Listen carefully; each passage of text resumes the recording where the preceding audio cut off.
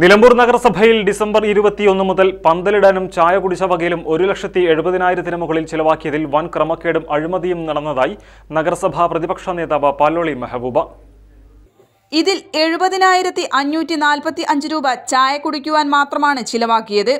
ഇതിൽ അറുപത്തി ഒന്നായിരത്തി ഇരുന്നൂറ്റി അറുപത്തഞ്ച് രൂപ നഗരസഭയുടെ ധനകാര്യ സ്റ്റാൻഡിംഗ് കമ്മിറ്റി ചെയർമാൻ കൂടിയായ വൈസ് ചെയർമാൻ അരുമ ജയകൃഷ്ണന്റെ പേരിലുള്ള സ്ഥാപനത്തിൽ നിന്നാണ് വാങ്ങിയിട്ടുള്ളത്.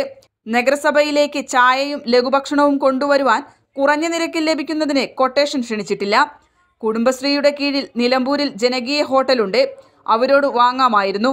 എന്നാൽ ഇതൊന്നും ചെയ്യാതെയും നടപടിക്രമങ്ങൾ പാലിക്കാതെയും സ്വന്തം ഉടമസ്ഥതയിലുള്ള സ്ഥാപനത്തിൽ നിന്നും തന്നിഷ്ടപ്രകാരം ചായയും പലഹാരങ്ങളും വാങ്ങി വൈസ് ചെയർമാൻ തന്നെ ചെയർമാനായ ധനകാര്യ സ്റ്റാൻഡിംഗ് കമ്മിറ്റി ബില്ല് പാസാക്കി സ്വന്തമായി എടുത്തത് സ്വജനപക്ഷപാതവും അഴിമതിയുമാണെന്ന് പ്രതിപക്ഷ നേതാവ് പറഞ്ഞു.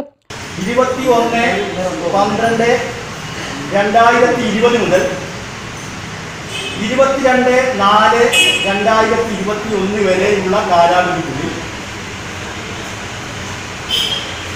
ചായ കുടിക്കാൻ മാത്രം എഴുപതിനായിരത്തി അഞ്ഞൂറ്റി നാൽപ്പത്തഞ്ച് രൂപയാണ് ചെലവഴിച്ചത്.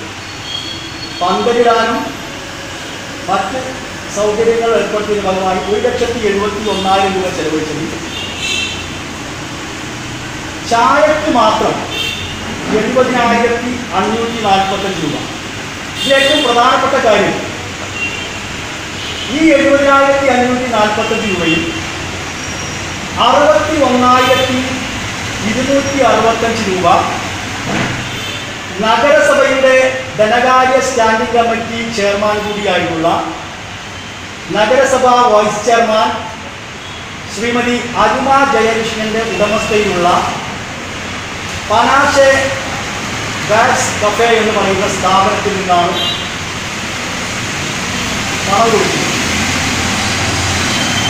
ഇത് അഴിമതിയാണ്.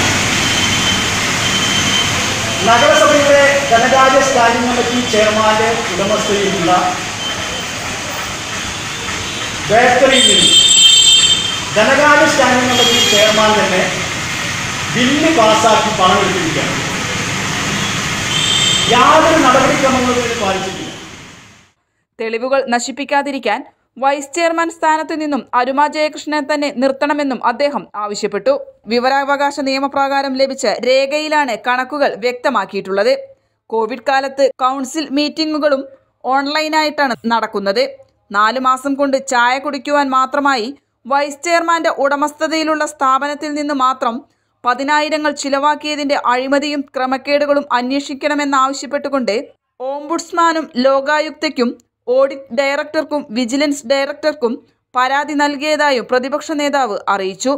Municipal Congress president advocate Sherry George I N T U C നേതാക്കളായ ആസിഫ് റഹീം ചോലയിൽ ഷിബു ഷെഫീഖ് എന്നിവരും പങ്കെടുത്തു.